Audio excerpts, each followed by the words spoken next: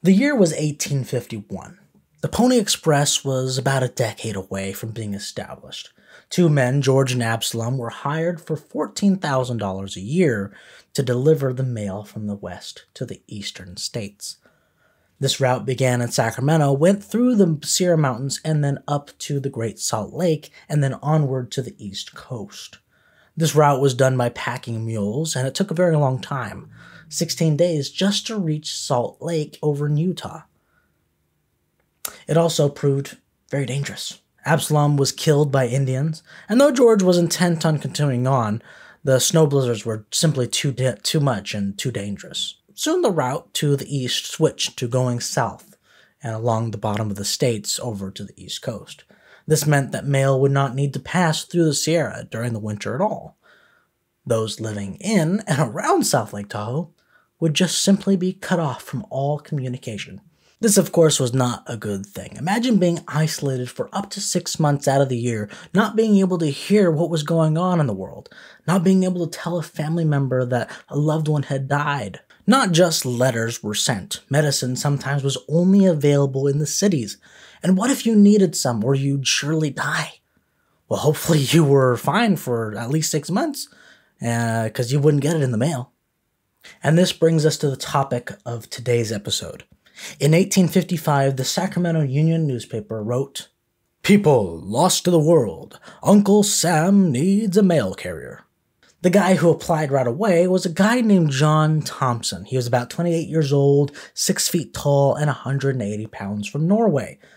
So, imagine a guy that kind of looks like a Viking. In this episode of Ricky's Historical Tidbits, I will tell you the life story of a man that is known today as Snowshoe Thompson. This is Ricky's Historical Tidbits Podcast, and this is Ricky Mortensen. John Torsteinson came to the United States at 10 years old, changed his name to the American spelling of John, and the family changed their last name from Torsteinson to Thompson to be more American. His family settled on a farm in Illinois and then moved on to Missouri and then to Iowa. John moved on to Wisconsin himself, where he caught gold fever and took an opportunity to move a herd of milk cows to California. He dropped everything to become a rich and successful miner in Placerville. But of course, very few made it rich. He mined at Kelsey Diggins and then went to Coon Hollow and then to Georgetown before deciding the miner life was not all that it's cracked up to be and took what he had and bought a plot of land over at Putah Creek in the Sacramento Valley. Up to this point in time, all attempts to deliver the mail were by snowshoe as we know them today. Just as you would imagine, uh, woven snowshoes typically made by Native Americans. Imagine trying to walk from Placerville to Carson City. That'd be insane. But there was no other way. But John knew another way. Back in Norway, when he was just a kid, he remembered flying around in the snow on these snowshoes, Norwegian snowshoes. But they weren't like what you call snowshoes today. He used his memory and grabbed a slab of oak wood and carved out two um, 10 foot long, 4 inch wide, 25 pound planks, and then added a leather strap for his shoes and then grabbed a six foot long pole for steering and propelling. Sounds like skis, right? Pretty much.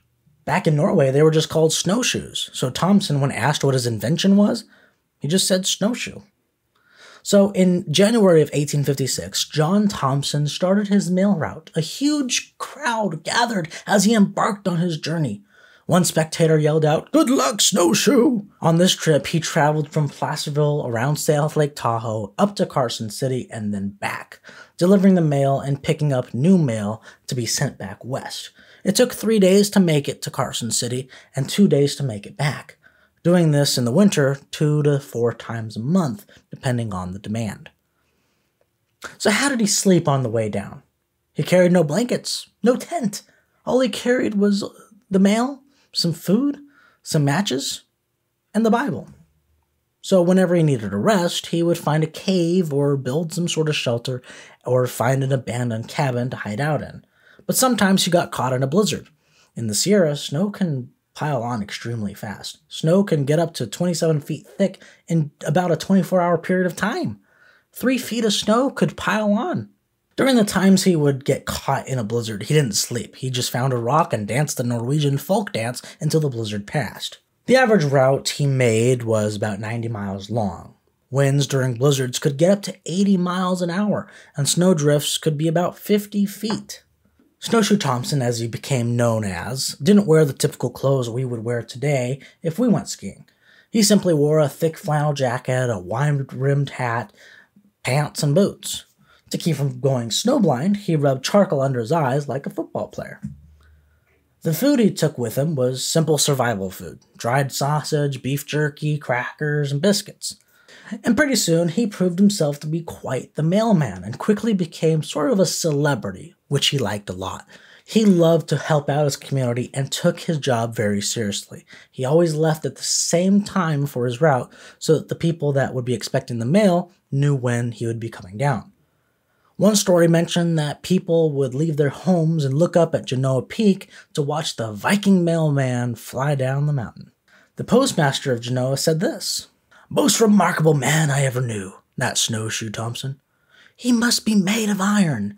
Besides, he never thinks of himself. But he'd give every last breath for anyone else, even a total stranger. There are at least two specific stories about him saving people. The first is an account of one man to the newspaper about his encounter. He and two other men were on their way to a mine when they got snuck in a snowstorm. Somehow, word got out and Snowshoe was sent to the rescue. We were half frozen when Snowshoe found us. We drew straws with chattering teeth to see who would go back first.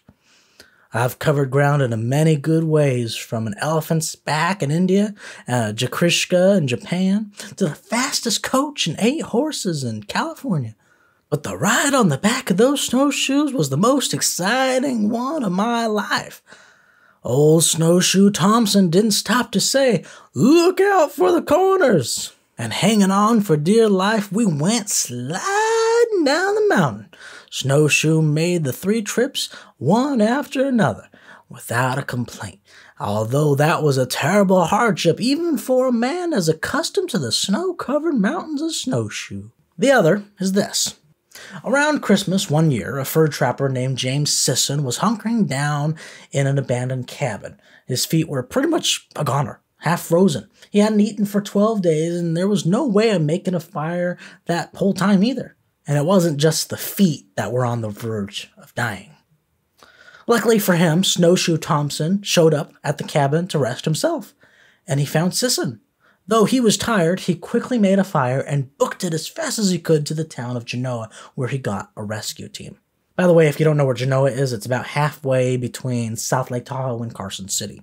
He carved snowshoes for the men, gave them a quick lesson on how to ski, and then they made haste back to the cabin where they took Sisson back to Genoa to the doctor. Now, the doctor had nothing but bad news. Sisson's feet had to be amputated, but he was all out of chloroform. So Snowshoe once again booked it from Genoa all the way back to Placerville just to find out that there was no chloroform there either. So he had to continue all the way to Sacramento, where he got some and made his way back to Genoa. It took a whole 10 days to make that crazy trip, about 400 miles. And because of that, Mr. Sisson lived. Mail was not just letters. Thompson's mail sack would be about a hundred pounds. Some of the other kinds of things he would carry were medicine, emergency supplies, clothes, books, tools, pots, pans. Sometimes it was mail ordered items like a glass chimney for a lamp, or uh, maybe a fiddler needed new strings for his fiddle. Snowshoe would bring him some strings. And of course, he brought the newspaper around with him too. Eventually, in 1859, Snowshoe innovated and, with the help of a judge from Genoa, started a sleigh line across the Sierra. Horses would wear these special snowshoes that Snowshoe Thompson made. That way, bigger packages and even people could cross the mountains safely, even in the winter. But not on a blizzard or really bad weather. That same year, he was asked to bring this weird looking blue rock. Well, it's kind of blue. Uh, from the Virginia City area to Sacramento to have it assayed, which means to have it checked out. And it turned out to be full of silver. By this time, the gold rush had slowed down to molasses, and the discovery called the Comstock Lode in Virginia City sparked the Silver Stampede. Now, Snowshoe Thompson was a servant. When his community needed him, he always said yes. And this brings me to where Snowshoe Thompson almost died. Quick lesson Rangers are basically militiamen uh, who would form when needed, kind of like today's National Guard. And as you can imagine, sometimes Native American tribes and American settlers had their problems. In 1860, there was some kind of issue that ended with the deaths of a few American settlers, so a militia group comprising of three separate militia groups was sent out to confront the tribe responsible. This militia was described as a, quote, motley company mustered from the mining towns and settlements in the valley, poorly mounted and armed with wretched muskets and shotguns. The group was a heterogeneous mixture of independent elements, poorly armed, without discipline, and that they did not believe the Indians would fight. Snowshoe Thompson answered the call for help and joined the Genoa Rangers. This group was a mixture of the Silver City Guards, the Carson City Rangers, and the Genoa Rangers, totaling up about 105 men, headed by Mr. Ormsby. Well, as they made their way to Pyramid Lake to confront the Paiute tribe, they were ambushed at a place called Williams Station. Williams Station is where the Lahontan uh, Reservoir is today. It was a Pony Express stop. Originally, the idea of going to Pyramid Lake was to make peace, but after this attack, peace was not really an option. Again, these guys were not trained, just militiamen. When they got closer to Pyramid Lake, they saw some Paiute on horses up on a hill. One guy, acting on his own, decided to fire and kill one of them. And this didn't help one bit. As the militia group got into the valley, they saw another couple of Paiute on horses up on a hill, looking down on them. And out of nowhere, a ton of Paiute surrounded the militia and began shooting both arrows and bullets at them. They overpowered the militia extremely fast. This battle only lasted a few minutes, and in the midst of the smoke and screams, Ormsby yelled out, Retreat! The quickest way out of this valley was up a somewhat steep hill, and as they ran straight toward it, more Paiute were waiting on top of the hill. Oddly enough, Ormsby was a friend of the tribe. He'd actually taught many of them to uh, read, write, and speak in English. At one point, Ormsby, as he was trying to flee up the hill, was flung off his horse and rolled down the hill. And though blood was dripping down his face, he saw a familiar face he knew and called out his name. But at that moment, another Paiute warrior straddled above Ormsby, got his bow ready, and simply said, It's too late for talk. Then released his arrow, killing Ormsby immediately. Snowshoe Thompson, though, was able to escape, and he got over to the Truckee River on foot. Finally resting, he felt a hot breath on his neck. He expected a hand to hand battle, so he turned around real quick, ready to fight, and lo and behold, it was a horse, saddled up and ready to go. He quickly got on and made it home safely. Thompson said that that horse was sent by God, no doubt about it. Out of the 105 men who went in this endeavor, only 29 came back. After this, the California Rangers were sent in, and after about two battles, the Paiute war chief Winnemucca eventually surrendered, signing a treaty and then stayed on the reservation after that. The result of this was Nevada Territory being created. Before this, it was just Utah Territory. Snowshoe Thompson was very happy to get back to a normal life, and soon he met a lady named Agnes, who he then eventually married in 1866. Thompson, until then, had just been a single homesteader, but after getting married, settled over in Diamond Valley in Alpine County. They raised cattle, boarded horses, grew wheat, oats, hay, potatoes, gooseberries, and currants. But every winter, two to four times a month, he would make the rounds delivering the mail, but he wasn't all work and no play. Snowshoe absolutely loved playing in the snow. He built snowshoes for everyone that wanted some, and he even gave lessons on how to snowshoe as well. He went around doing big jumps, racing down hills, and doing a few tricks. And soon, snowshoeing, which we call skiing today, was a big hit. After Snowshoe Thompson had his son Arthur, he went to the postmaster and asked for his money. For all the years he had been delivering the mail, he never got paid. He figured he'd get paid eventually, but now with a kid, he wanted his money. They told him that they would get it to him, but the weeks went by, and they simply kept telling him that they were waiting for money from Washington, D.C. Eventually, the Nevada legislature in 1869 appealed to the federal government to give Snowshoe $6,000. Nothing came of it. So in 1872, Snowshoe got on a train and headed to D.C. The train he was on got stuck in the snow, and after a few hours, Snowshoe got irritated and began walking with his briefcase. After three days of walking, he got to Wyoming, where he got on another train, which then got him to DC.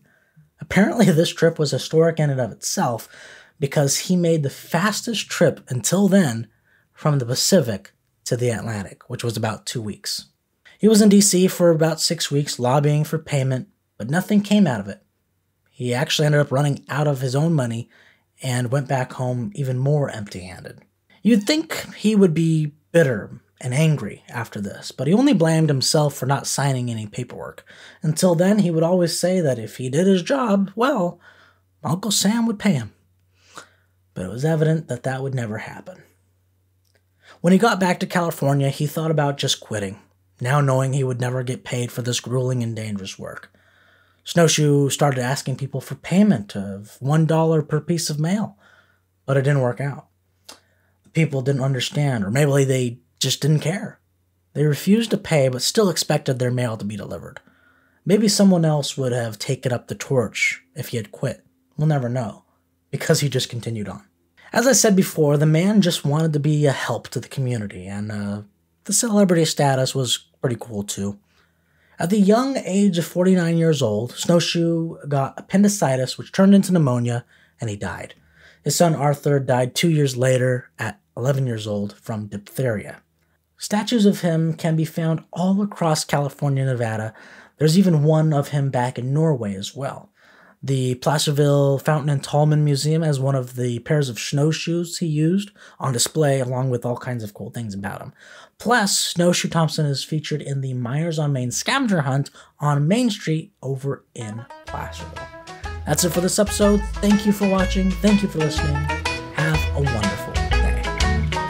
In 1855 in old California, a man was a looking in the paper one day. Uncle Sam needs a postman to carry the mail through the high Sierra Mountains over God-forsaken trails. The snowshoe Thompson told him he swore he was the man. I'll get through them mountains if anybody can. He took a pair of snowshoes, he took a pair of skis, and lit out through the mountains where a normal man would freeze. He was cautious as a mountain cat, fleet as a deer, tough as a grizzly bear, he knew no fear. He lived a life of danger, bringing mountain people news. Cause Snowshoe Thompson packed the mail on through.